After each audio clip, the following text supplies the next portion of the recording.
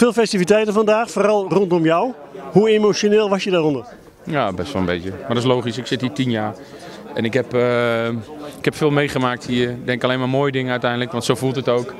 Uh, dus uh, ik kijk alleen maar met een hele mooie, mooie glimlach terug op Heracles Almelo. Ik denk ja, dat, we, dat we heel veel goede dingen hebben gedaan hier met elkaar. De laatste wedstrijd wordt 2-2 tegen een ploeg als FC Utrecht. Ben je dan toch trots? Nee, ik had het liefst gewonnen. Dan was ik echt trots geweest. En helaas zat het er niet in. Goed, je gaat naar Go Eagles. Een ploeg uit de eerste divisie, uit de Jupiler League. Uh, een fantastische uitdaging voor je? Ja, want anders had ik die uitdaging niet aangenomen. Ik denk uh, dat het uh, inderdaad een uitdaging is. maar... Ja, weet je, ik wil gewoon eens goed af, afsluiten. We moeten nog volgende week tegen Sparta. Het is echt nog niet klaar nu. Dus ik wil gewoon nog door. En zorgen dat we die tiende plaats veilig stellen. En dan ben ik tevreden pas. Jon, we hebben jou de laatste vier jaar echt als hoofdtrainer van de Rakers meegemaakt. Als media. We zijn je er erg dankbaar voor. We zijn ontzettend goed hebben we met jou kunnen overleggen over van allerlei situaties. En ik wens je fantastisch en heel veel succes bij Go Eagles. Dankjewel. Bram Castro, man of the match. Afscheid nemen van Heracles Almelo. Wat gaat er allemaal door je heen? Ja, het zou mooier geweest zijn als we toch nog de wedstrijd hadden gewonnen. Maar ik denk dat het, uh, dat het mooi geweest is na vier jaar veel meegemaakt. En uh, ik denk dat het uh, nu voor beide partijen gewoon goed is dat we allebei een nieuwe uitdaging aangaan.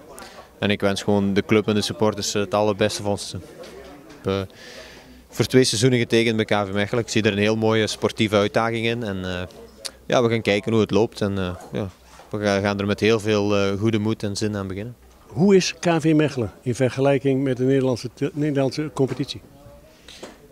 Ja, KV Mechelen is in december uh, overgenomen door nieuwe eigenaren. En uh, die hebben nog geprobeerd uh, ja, een beetje te redden wat er nog te redden viel. Maar dat is jammer genoeg niet, niet 100% gelukt. Dus met gevolg dat, dat er een degradatie was.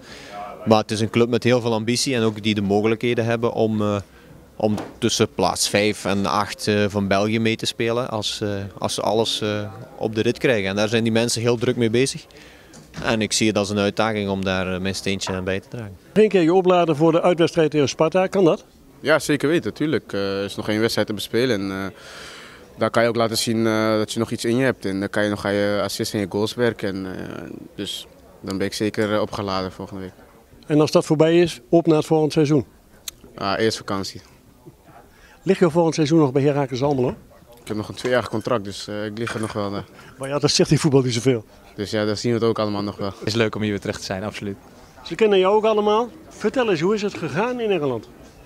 Ja, vrij goed moet ik zeggen. Ik heb uh, bijna alle wedstrijden gespeeld. Ik heb één wedstrijd uh, op de bank gezeten en één wedstrijd ben ik ingevallen. En voor de rest heb ik alles gespeeld. Dus uh, laatste tijd hebben we ook goede resultaten geboekt. En ja, het gaat eigenlijk de goede kant op. En het is ook nu nog één week en we zijn volledig veilig gespeeld. En hopelijk volgend jaar weer voor de play-offs gaan, want dat is de doelstelling.